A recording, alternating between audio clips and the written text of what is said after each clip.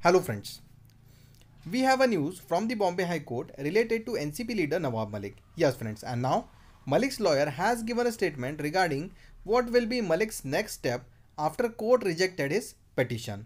So as we all know that few days back Bombay High Court had rejected giving interim protection to Nawab Malik and Bombay High Court while giving decision had said that Nawab Malik has to stay in the jail and Nawab Malik will not be released from the jail.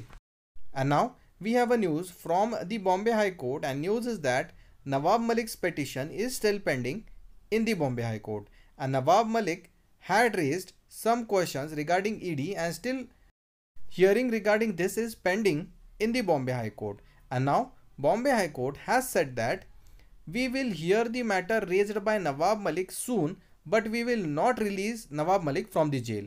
And now on the other side, Malik's lawyer has given a statement regarding what will be Malik's next step after court dismissed his petition. So Malik's lawyer said that the detailed order of the interim protection has yet to come and after detailed order is given, we will study on it and next we will decide on whether to approach Supreme Court or whether to wait for some time and apply for bail in the Bombay High Court after ED files its charge sheet.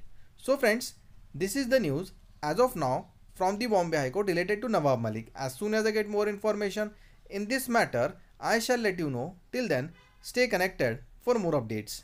Thank you.